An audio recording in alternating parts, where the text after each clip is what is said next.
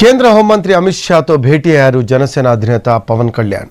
రాష్ట్రంలోని తాజా రాజకీయ పరిస్థితులు విశాఖ ఉక్కు కర్మాగారం ప్రైవేటీకరణ అంశంపై ఇద్దరు నేతలు చర్చించారు. తిరుపతి ఉప ఎన్నిక అంశం కూడా ప్రస్తావనకు వచ్చినట్లు తెలుస్తోంది. ఢిల్లీ టూర్లో పలువురు కేంద్ర మంత్రులు బీజేపీ పెద్దలతో జనసేనాని సమావేశమయ్యే ఛాన్స్ ఉంది. వైజాగ్ స్టీల్ ప్లాంట్ ప్రైవేటీకరణకు కేంద్రం తీసుకున్న నిర్ణయాన్ని జనసేన పార్టీ వ్యతిరేకిస్తుంది. దీనిపై కేంద్ర ప్రభుత్వ పెద్దలతో చర్చించాలని పవన్ కళ్యాణ్ నిర్ణయించారు. దీంతో ఆయన ఢిల్లీ పయనమయ్యారు. పవన్తో పాటు పార్టీ రాజకీయ వ్యవహారాల కమిటీ చైర్మన్ నాదెండ్ల మనోహర్ కూడా వెళ్ళారు. కేంద్ర హోంమంత్రి అమిత్ షాతో భేటీ అయిన పవన్ విశాఖ స్టీల్ ప్లాంట్ను ప్రైవేటీకరణ చేయొద్దంటూ లేఖ ఇచ్చారు. ప్రజల మనోభావాలను పరిగణనలోకి తీసుకొని విశాఖ స్టీల్ ప్లాంట్ పెట్టుబడులను ప్రైవేటీకరించే చర్యను పునఃపరిశీలించాలన్నారు.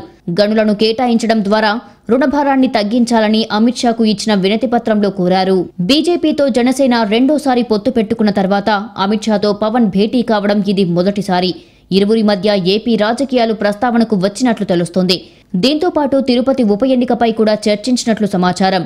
ఢిల్లీ పర్యటనలో భాగంగా జనసేనాని పలువురు కేంద్ర మంత్రులు బీజేపీ పెద్దలతో సమావేశం కానున్నారు జనసేన అధినేత.